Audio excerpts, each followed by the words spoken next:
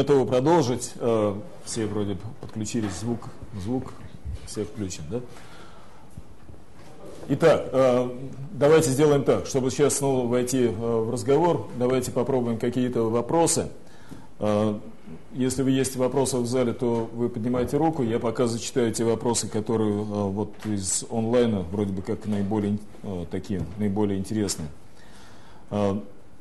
Иван э, из онлайна э, с ником Иван, вопрос по теме. Угрожает ли револьвация юаня банковской системе Китая? Банковской именно. Да, однозначно. Я думаю, это не главная проблема для банковской системы Китая.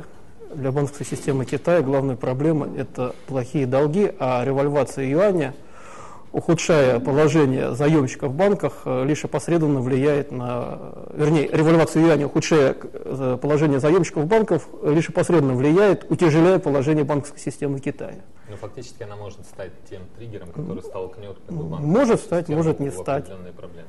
Обычно китайцы предпочитают спасать свою систему. Вот они это уже не раз делали. Угу. Вопрос в способностях и возможностях. Спасибо. Сейчас банковская система разрослась слишком сильно. Объем выданных кредитов, по-моему, уже э, под 7 триллионов долларов. И это, это даже больше, чем в США. Банковский кредит. Ну, ну и население тоже. Кто из кризиса, ну, каждый выползает кто как может. Э, России сделали, слегка окунув ее морды в грязь, дорогую нефть. Ну вот, э, Китай выползает за счет массированной кредитной накачки собственной экономики. Допустим, США и Европа, на мой взгляд, э, в частности, выползают за счет э, маятника хода валютных курсов. Давайте представим такую ситуацию. Я уж еще две минуты буквально. США и Европа оба одинаково глубоко, словно говоря, в грязи. Вот, обоим плохо, обоих Колда. кризис. Да. Что делать? Допустим, есть некий относительно равновесный курс э, евро к доллару, ну, вот, который относительно практически не влияет ни в чью пользу, ни никому в минус не играет. А курс э, национальной валюты – это инструмент, в принципе, которым надо работать. Как я уже говорил, на мой взгляд, э, ФРС и Европейский Центробанк работают в достаточно тесной связке, постоянно друг с другом контача. Э, соответственно, что делать? Вот э, есть курс, которым надо работать, как я уже говорил. Предположим, э, сначала завышается курс э, евро. Завышается курс евро, Америке становится чуть полегче, там начинается за счет этого, за счет роста и экспорта и сокращения импорта экономический рост, даже наметившийся экономический рост включает в себя много, тут же включает много сторонних рычагов роста. Допустим, предприятия смотрят, что вроде пошло оживление, они начинают накапливать запасы. Это идет вторичный экономический рост, получается инерционный механизм. Движение дальше. Америка более-менее воспряла. Вот э, можно посмотреть прошлый 2009 год. 30 или 31 октября приходят данные о том, что третий квартал э, вышел в плюс, США ВВП вышел в плюс. Раз. Потом 4 декабря приходят данные о том, что снижается уровень безработицы. И 4 декабря стартует ралли по евро. Вот, возможно, завершение которого мы видим сейчас. Чуть-чуть вот. То есть только, только начался экономический рост США, только он подтвердился не просто ростом ВВП, но и снижением безработицы, тут же начала получать свое Европа за счет удешевления евро. Вот мы видим, евро удешевлялся, удешевлялся, Германия, по сути, сейчас в шоколаде, зато США начали свои проблемы. Так что с этой, если эта теория верна, что фактически э, США и Европа, они играют курсами для того, чтобы там, давать толчок то, своей, то одной экономике, то другой, вот, то с теми проблемами, которые мы сейчас видим в США, с э, новым спадом на жилищном рынке, с э, очередными проблемами э, с безработицей, с спадом производства пока небольшим, возможно, мы действительно видим завершение ралли по евро, которое происходило последние 6 месяцев. Александр, значит, у меня такой вопрос. А как вы привяжете то, что вот сейчас курс доллара по отношению к евро растет, и в любом случае цена на золото опять повышается, опять больше, чем 1200. А потому что не верят? Как, еще раз, пожалуйста, сформулируйте, как, я, как, связ, я, как я, связан рост доллара да, да, и, да, и что, рост золота? Да, да, да, да. А, потому что золото, оно... Как связан рост доллара и рост золота? Да. Ну, сейчас, в принципе, золото не коррелирует э, ни с ростом доллара, ни с падением доллара. А, доллар, когда падал, золото, золото росло, и когда доллар начал расти, золото чуть-чуть Да, упало, и потом растет. А это характеризует 1,40, уровень. да. 1,47 д- к евро к доллару. Тогда и было э, больше, чем 1200. Это характеризует уровень, э, в принципе, недове- недове- недоверия в финансовой системе. А вообще сейчас в системе есть много денег, но нету надежных активов. Нет. Кто-то считает золото надежным активом. в Доллар, о, в этот золото. Нет. Золото слишком а, узкий рынок по объемам, чтобы туда могли все перейти. А, Этот рост отражает а, скорее настроение, чем реальную фундаментальную картину. Золото уже не станет мировой валютой никогда, да, не вернет себе эту роль, потому что, в принципе, золото сейчас функ- не станет фун- мировой валютой, функционально но не сможет. В, которые- в которых можно переждать вот эти все Вот Слишком узкий рынок золота. Он Оно слишком узкий, за счет этого активом слишком манипулируемый. Притом крупнейшие игроки на рынке золота это Центробанки. центробанки. Ну вот, и плюс по большому счету золото это такая же бумажка, как и доллар, если уж к этому. Это условность. Вот э, Это- вопрос, извините, я вас прерву. Дело в том, что из, э, из интернета точно примерно такой же вопрос прозвучал. Владислав спрашивает, а реально ли за 10 лет отойти от доллара в пользу других валют? Евро, рубль, юань, может вернуться к золоту? А, всех, Как, как себе Я- можно я- представить эту картину? Вот, Вот а, вы- вы если грубо, да, а, сейчас доллар, а, основная роль доллара это мера стоимости. Да. Да, если будет Я тогда, две валюты выступать мерой стоимости, как они могут, смогут выступать мерой стоимости? ну, вы тогда проясните для слушателей, возможно, не все понимают, что имеется в виду под словом э, валюта, мера стоимости. Мера стоимости это а, валюта, в которой определяются цены, э, ну практически на все, да, на ресурсы, на то же золото, э, на какие-то товары, которые являются, в принципе, э, в общем-то, в общем-то, определя... в, в этой валюте определяется стоимость. Мы, Я- можно, но не в ближайшие 10 лет. так?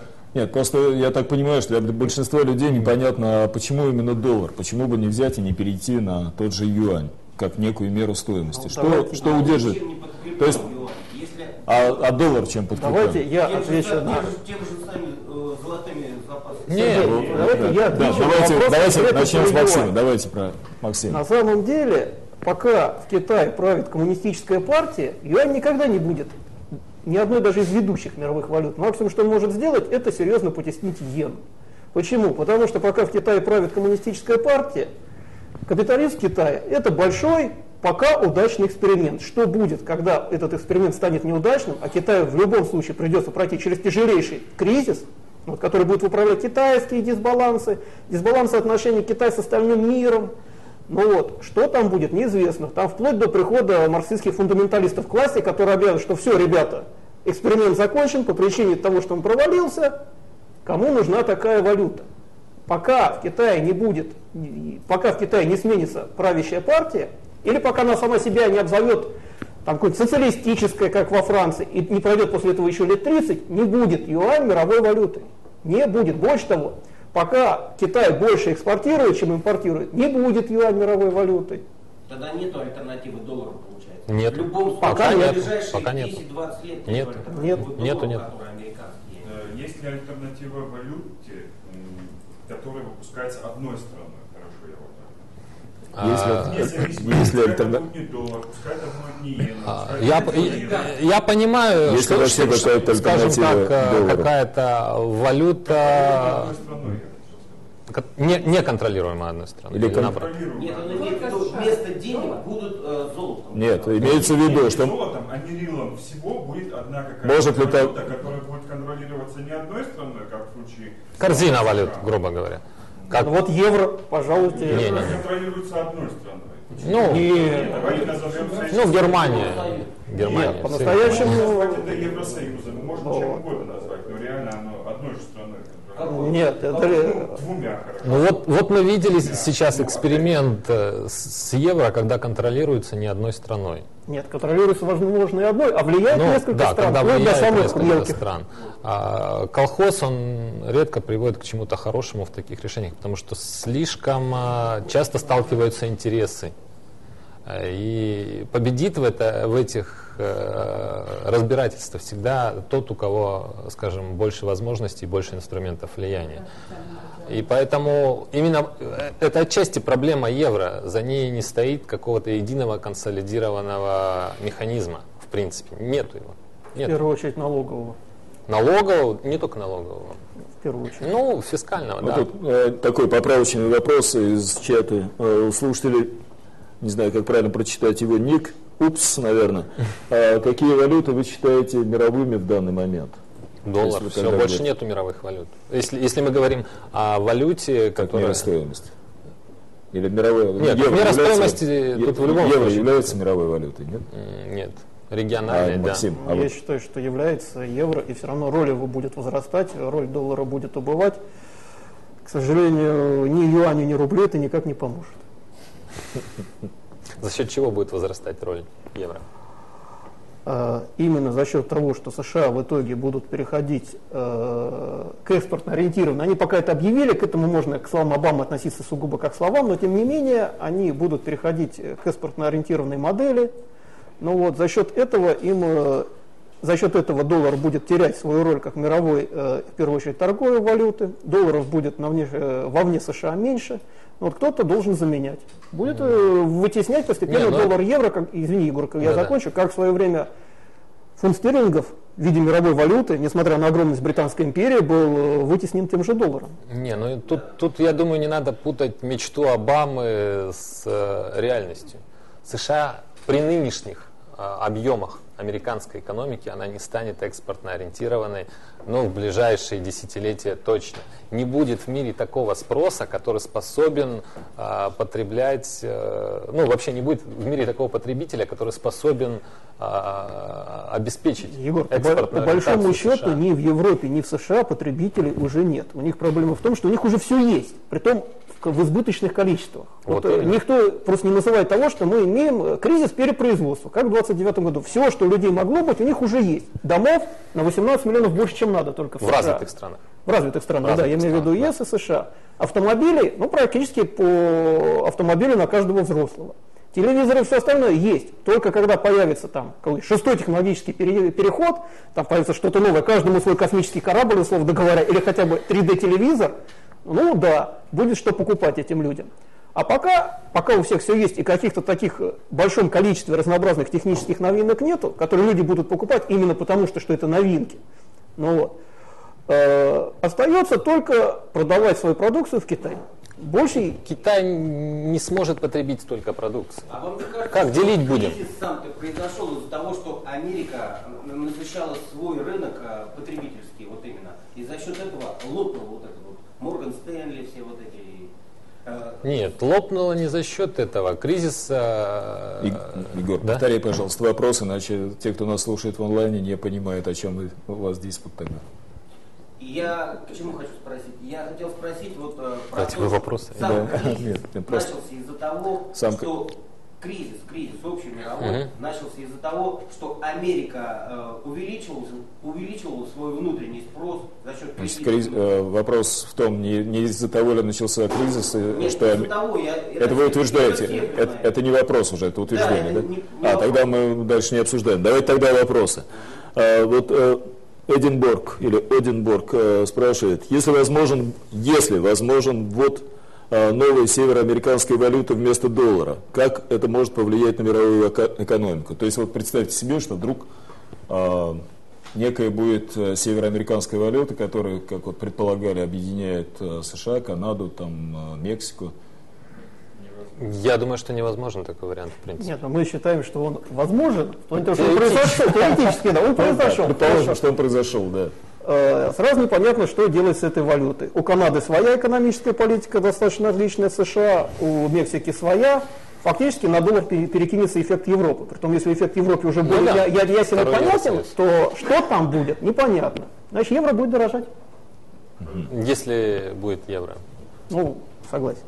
Ну, доллар будет падать Почему? К, к чему он будет падать?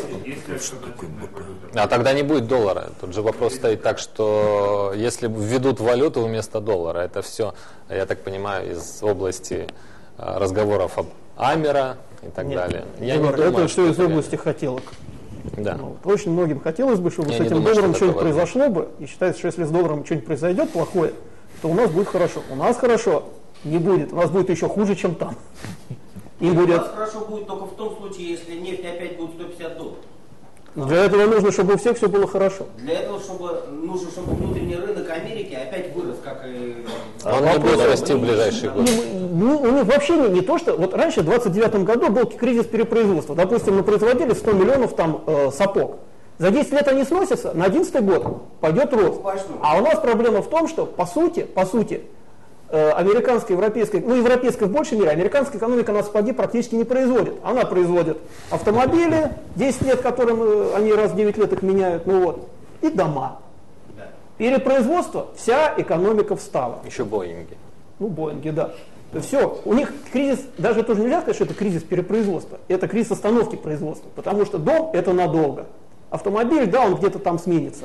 Вот. Но вот основной проблема дом, это все. Ты в нем будешь жить 50 лет, и пока есть перепроизводство домов, В Америке сейчас около 14 миллионов да, домов пустует. в 18,5 Нет, миллионов это твоя собственная цифра. Да, 18,5 миллионов. 14% от общего объема домов, они пустуют. Ну, то есть им где-то при текущем приросте населения, учитывая, что, допуская, что все, кто там прирастает, все, которые вступают в взрослую жизнь, тут же побегут покупать дома, там брать, им, им дадут ипотеку безработным, там огромная безработица среди молодежи, за 10 лет оно разойдется. Ну, естественно, там не требуется 10 лет, там требуется, чтобы оно к какому-то уровню вернулось. Не, Вот. но есть еще, скажем, процесс э, ухода домов с рынка, потому что срок службы американского дома не, не очень большой. Вот как раз по поводу безработицы среди молодежи.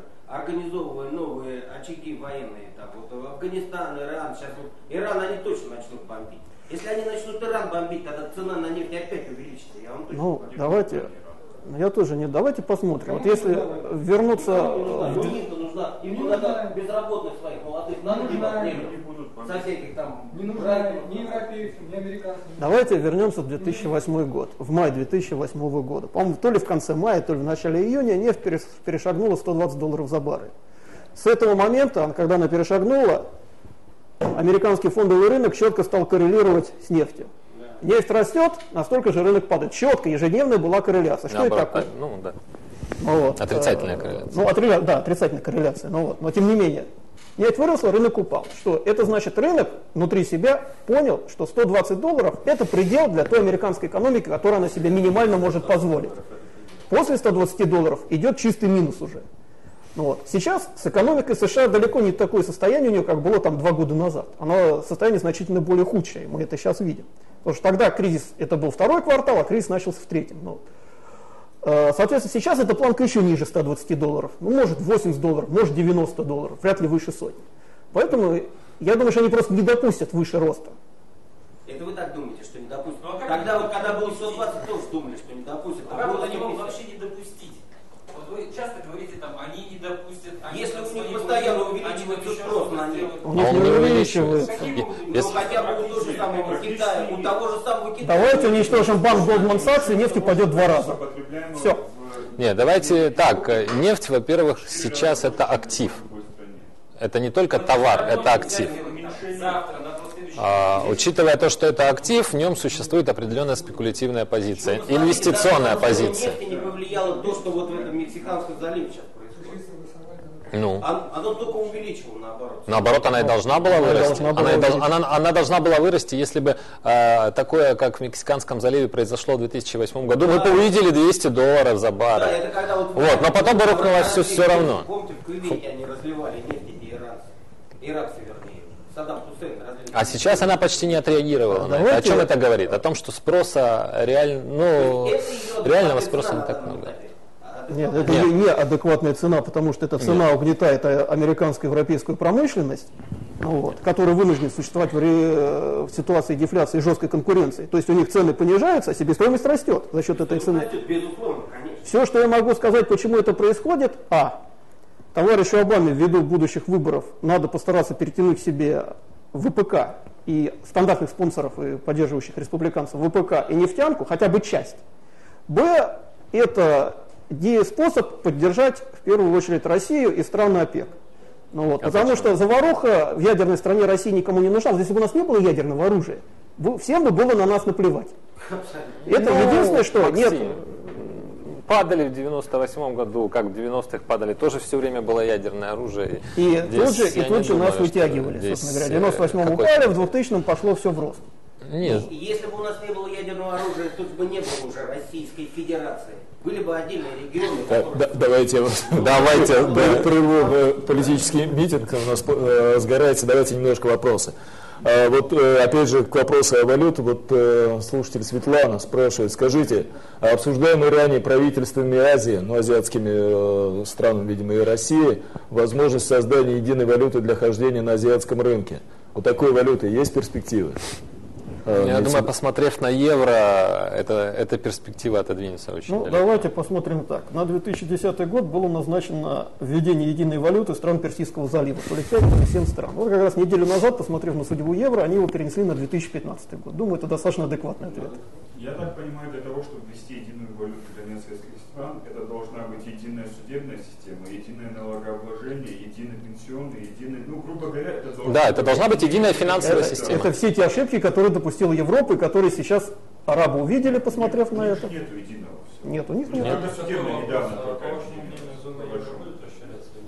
Вопрос, будет ли расширяться зона евро. Это я ну, Эстонию примут зону евро. Давайте посмотрим, как... Польша пока не торопится, насколько я вижу, в зону евро. Президентские выборы сейчас были, и Качинский, как Ну, это все больше политика, чем... А, Польша, Польша сейчас лучше всех себя чувствует в Европе. В принципе, экономика Польши, она, в ней даже не было а, как такового провала валового продукта. Нет, падения ВВП Польши, Польши не было. Они девальвировали злоты, после чего вся Прибалтика поехала скупаться в Польшу, и польская экономика на фоне всей остальной Европы чувствует себя великолепно. Зачем? А Прибалтика возникает хуже, вопрос. чувствует себя хуже всех в Европе. Зачем? Зачем им сейчас э, евро? Конечно, если процессы, если в Европе пойдут такие интеграционные процессы, реальные, не на словах, не на а, бумаги, а реальные интеграционные процессы, если пойдет формироваться единая фискальная система, если пойдет формироваться э, единая монетарная система, ее нету сейчас все-таки.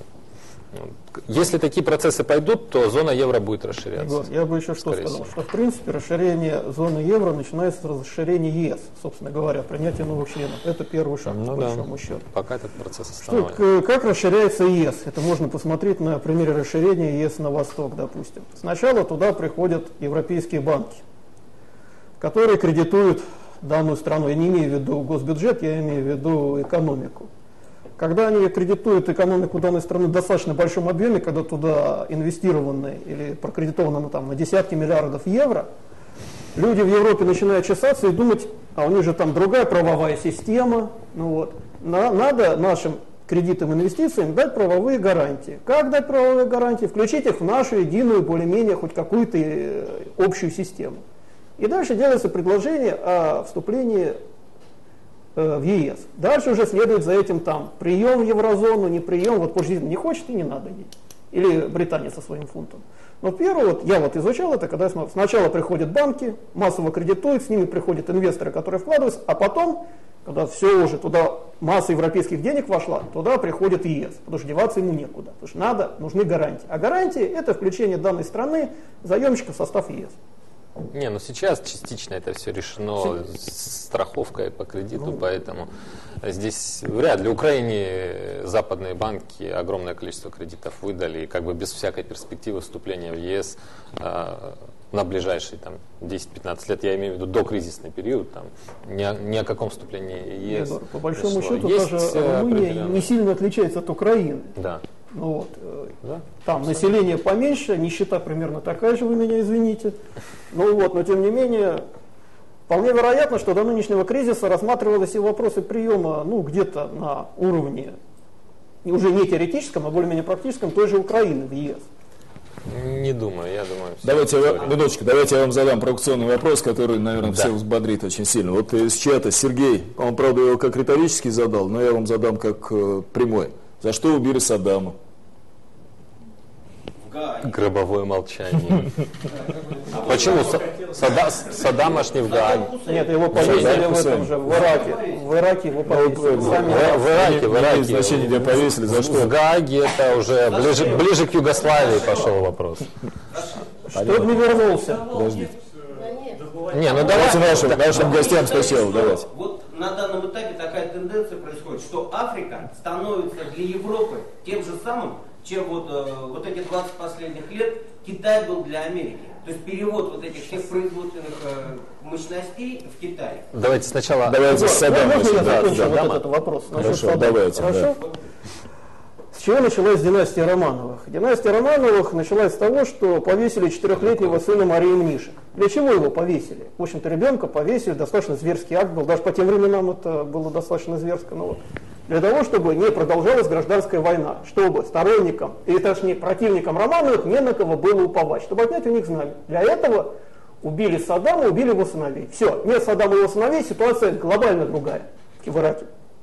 Ну, я, я несколько проще на это смотрю. Я смотрю с позиции финансовых интересов. А, основные спонсоры республиканцев и Буша – это военные и нефтяники. Собственно, э, за, за правление Буша кто больше всех заработал денег? Военные и нефтяники. Из этого Поэтому- можно сделать вывод, что Это США пришли в нормально. низкими ценами на нефть, а за высокими. Да. Хорошо. Здесь абсолютно.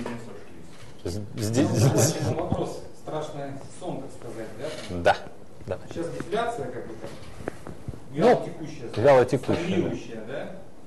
Там, не будет ли ответа на эту дефляцию, там, ответ регуляторов, там, еще более активное включение станков печатных? Центрального банка, Европейского, там, Федеральной резервной системы, там, новые лимиты какие-нибудь на МБС нарисуют, снова начнут выкупать, да? То М, есть ситуация 72 года с нефтяным шоком, с золотым шоком, вероятность. Теоретически возможно. но Давайте я для, для онлайн-слушателей повторю. Се- э, Вот э, сейчас э, в ситуации, когда в экономике, я так понимаю, вы про Европу и США Мировой, говорите, да, мировая мировая. дефляция, несмотря на то, что, в общем-то, э, денежный станок все равно включен и достаточно хорошо включен, да? Не будет ли еще больше, да, вы считаете, что слабовато, вернее, не слабо, что можно еще больше. А к чему это приведет? Не будет ли э, нефтяной шок, повторение нефтяного шока 70-х годов, ну и золотого шока тоже, да? Там тоже Да. 70. да. Егор, можно я отвечу на часть вопроса про МБС? Вот это мое мнение, как бы. Сейчас э, в США порядка пяти с половиной миллионов владельцев жилых домов, которые уже не оплачивают ни кредиты, ни проценты ипотечные по ним. Тем не менее, они живут в своих домах, их не выгоняют, они продолжают это делать. Банки закрывают на это глаза. Что такое 5, там, 5,5 миллионов жилых домов по ценам ну, предкризисным? Это где-то триллион, триллион 200 миллиардов долларов. Это как раз сумма выкупа МБС, это та сумма МБС, которая была выкуплена ФРС у банков. То есть фактически ФРС закрыла банкам вот эту дыру, и они не выгоняют людей из домов. Там другое немножко. ФРС покупала не просроченный МБС, она покупала, поддерживала рынок в целом. Вот в этом вся соль. Они пытаются Но мы не знаем рынок. качества их Если бы портфеля. они покупали именно эти просроченные, было бы легче. Им не надо выкупать именно эти. Им достаточно закрыть людям дыру в балансе.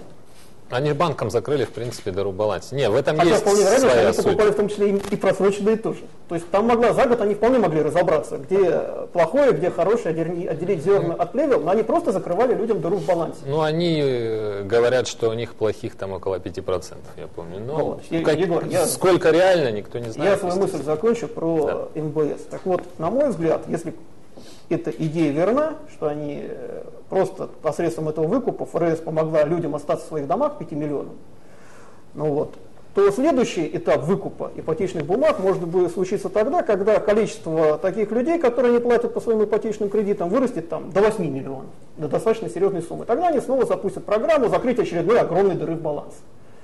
Вот и все. Это может быть произойти в течение этого года, ну, может в следующем, может вообще не произойти, если все Ну, а нормально. доверие в такой валюте. А есть альтернатива? Доверие. А есть альтернатива? В 72 году ее тоже не было. Ну, ее не было. Нет, я говорю, возможно ли повторение событий 72 года? Теоретически возможно, но в данной ситуации потери, по, по, потери будут э, совершенно другие, чем в 1972 году. То есть сейчас такие, та, такие процессы приведут к намного более сильной инфляции, все это прекрасно понимают. Не, ну как, ну и что? Это, это огромные потери. Это, это, это можно сделать, да, но если наступит такой момент, когда все уже больше, в принципе, терять нечего. Вы говорите, Егор, рассуждаете с точки зрения какого-то там управления, да? Я считаю, что экономические процессы, они, в принципе, слабо управляют. В принципе, слабо управляют. Даже Ну если, да, они неоднозначно банк, Да, управляют. там, с его интервенциями, это бесполезно. Но инфляция начнется в каком случае? Когда начнут сбрасывать э, американские Правильно, когда начнут сбрасывать американские активы. А, и куда перекладываться? комнаты? Куда еще? Комодов мало слишком.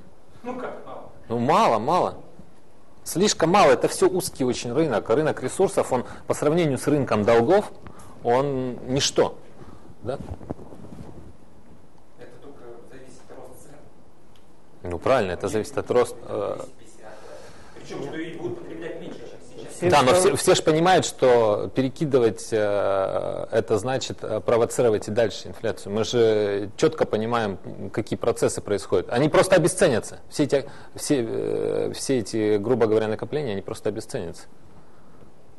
Кому это выгодно? Это, это не выгодно. Это выгодно. 98 год в России дефолт был никому не выгоден, но он случился. Ну, это была... с- Объективная реальность, то же самое. Как бы, любой Не, ну в России процесс, ситуация была совершенно другая. да? Там бесполезно искать выгоду. выгоду. Это так то же самое, как искать выгоду, вот идет дождь. Я- Кому-то выгодно, а кому-то и не выгодно. Да? Есть, ну, Это понятно, то есть э, сам процесс, он может произойти, но он произойдет только в самом крайнем случае, да, если других вариантов в принципе не будет. И вопрос в том, Потому что он разрушит полностью, в общем-то, сложившуюся а, мировую финансовую систему. Может быть, она должна быть разрушена. Может быть, может быть. Но пока это никому не выгодно тоже. Не близкая перспектива. Ну, А Давайте я не думаю, что это близко. вопросы из чата э, задам. Э, Светлана опять... Да, давайте тогда, тогда вы, да. Вот про 5 миллионов человек, которые живут в своих квартирах, их никто не выгоняет, как это все возможно? То же самое в Великобритании происходит. Еще А, раз, 5 миллионов человек живут в своих квартирах, я, наверное, прослушал. Ну, это в домах. То есть люди просрочили, просрочили уже ипотечные кредиты, не оплачивают ни, то- ни тело долга, ни процентов, но тем не менее банки не спешат их выгнать А, и а в выставить. чем, в чем вопрос? Почему тогда, ну, э, русскому человеку, мне кажется, логично предположить, почему тогда эти 5 миллионов человек не превратились в 50 миллионов человек? Ну, потому что остальные еще платят. А зачем платить, если 5 А вот это как раз интересный вопрос. Почему? И Вопрос, да, Почему, Американцы, они достаточно рациональны, и поскольку, допустим, там 5%, даже больше, там 10% всех домовладельцев могут себе позволить не платить, остальные на это смотрят, то да, процесс может развиваться сугубо вот по этой логике. Чтобы если мой сосед наплевал и не платит, почему это Не, должен ну, сделать я? Здесь есть некоторый останавливающий фактор. В общем-то, все эти дома находятся практически под процедурой дефолта. Просто банкам невыгодно их ставить себе на баланс. Это раз, а, потому что они сразу ухудшают свой баланс. А, И, естественно, в таком вот висячем положении, я сейчас не помню точно, у меня э, есть где-то цифры, э, на какую сумму, но огромное количество домов находится в положении между. Они вроде бы и уже банки должны, ну банки их должны забрать, а вроде бы они еще и Просто никто их, никто не забирает. Банки за них налоги будут платить. Вопрос не в налоге, вопрос в том, что даже если они их заберут, им не- нечего с ними будет что-то Да, делать. А так, да. у людей в какой-то перспективе долгосрочной хотя бы что-то за эти дома получить. Суть не в том, банки бы забрали, но у банков очень резко ухудшится баланс, им это не нужно. Они в любом случае страховку разве не получат? Какую они страховку получат? Ну, от государства. Там же не все дома э, под госгарантиями, не все кредиты под госгарантиями, совсем не все кредиты. Под госгарантиями где-то половина ипотеч- ипотечных долгов. Причем по Чуть большей больше. Сейчас, сейчас, долги. сейчас больше, потому что сейчас а, последний год шел активный переток из а, кредитов, которые гарантированы, и в- вернее, из кредитов, которые не гарантированы государственными агентствами, в кредиты, которые гарантированы. Потому что а, сейчас рынок вот, и, ипотечных бумаг МБС, которые не гарантированы правительством, он работает только в одном направлении – на погашение. То есть там нету новых размещений вообще. Есть, но суммы где-то в районе 1-2 миллиардов в месяц. Э, Это совершенно смешные цифры. То есть этот рынок работает только на Вот, погашение. а, вопрос из чата, немного в другую совсем сторону. Э, э, Иван спрашивает, какие последствия для финансовой системы возникнут, если США все-таки начнет бомбардировку Ирана? Как изменятся цены на основные активы, золото, нефть, евро? А вы вообще э, как считаете, начнут американцы войну в Иране? Я для не, этого- сказали, что нет. я не думаю, что это может начаться в ближайшей перспективе. Не- ну нет смысла. Ну, у Ирана уже есть ядерное оружие. Да ну, какое у них ядерное оружие? Уж кому, кому американцам они точно ничем не угрожают. э, Китай, э, точнее м, Ирак, не имел выхода э, неф- нефти в зарубежные страны, в отличие от того же самого Ирана. Иран имеет выход нефтедобытчиков, нефтезапасов в Китай, и Китай является крупным э, потребителем так нефти, так и газа. Тем более сравнивать Иран и Ирак это совсем две разные вещи.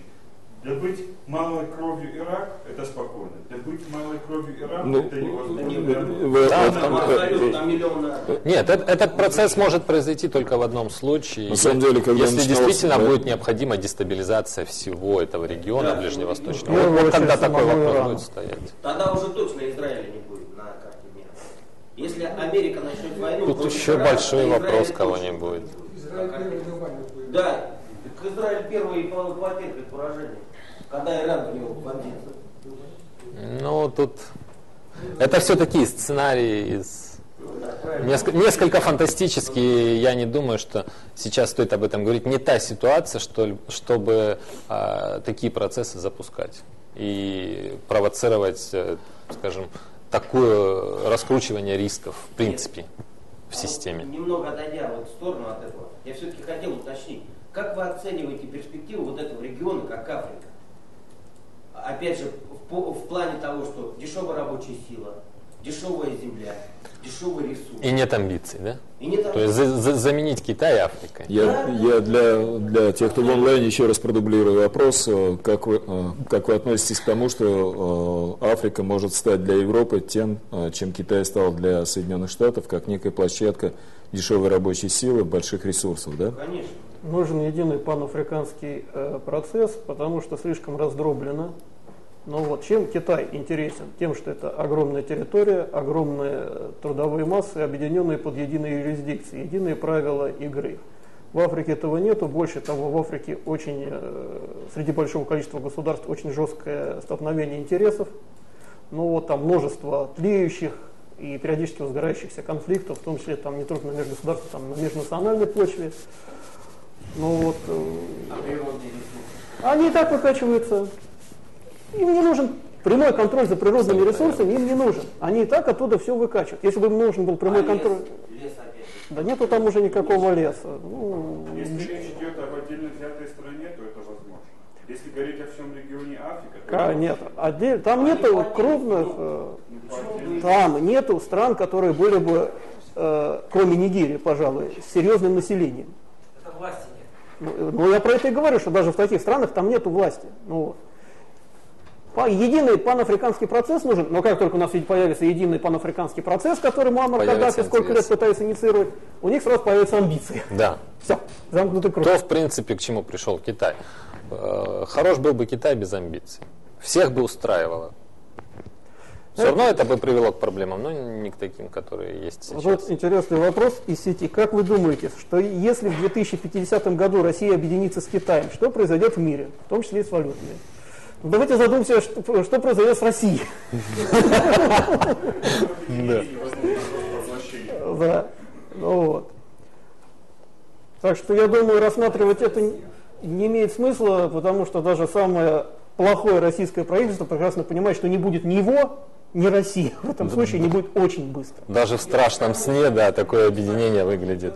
На, на Дальнем Востоке все равно Но экспансия на Дальнем Востоке идет. Э, Давайте посмотрим опять же на всю ситуацию за последние десятилетия.